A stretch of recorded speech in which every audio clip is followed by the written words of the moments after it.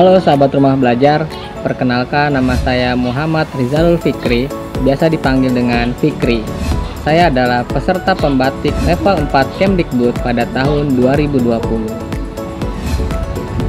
27 tahun yang lalu, saya dilahirkan di sebuah keluarga yang sederhana, tepatnya pada tanggal 26 Juli 1993 di Sumedang.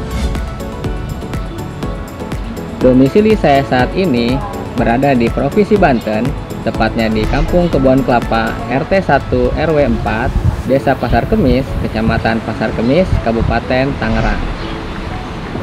Pendidikan terakhir saya adalah pendidikan profesi guru atau PPG Pendidikan Fisika di Universitas Pendidikan Indonesia pada tahun 2018.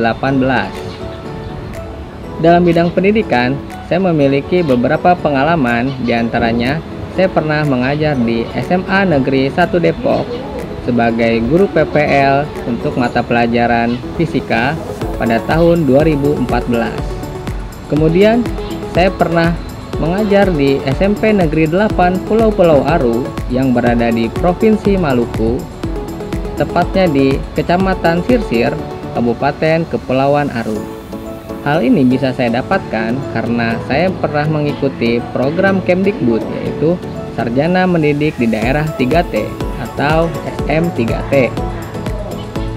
Suatu kebanggaan bagi saya karena saya dapat mengenal kebudayaan Indonesia bagian timur dan dapat mendidik anak-anak di Indonesia bagian timur.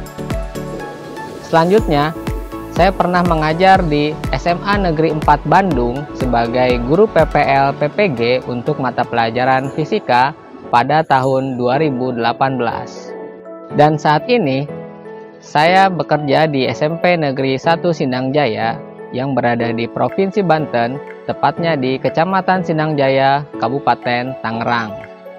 Beberapa kemampuan yang saya miliki di bidang TIK atau Teknologi Informasi dan Komunikasi 95% saya menguasai Microsoft Office yang di antaranya adalah Microsoft Word, Microsoft Excel, Microsoft PowerPoint, dan Microsoft Publisher.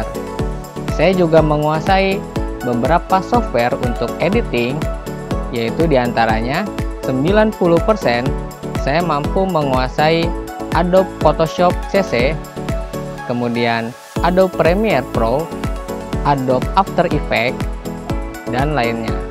Saya juga mampu menguasai aplikasi untuk pembuatan media pembelajaran seperti Storyline 3 dan ini saya kuasai sekitar 90%. Kegiatan sehari-hari yang saya lakukan di masa pandemi COVID-19 ini, saya sering membuat konten-konten video pembelajaran yang saya upload melalui kanal YouTube dan sumber belajar Kemdikbud. Selain itu, saya juga pernah melakukan penelitian-penelitian di antaranya penelitian tindakan kelas atau PTK yang sudah dipublikasikan di Wahana Pendidikan Fisika.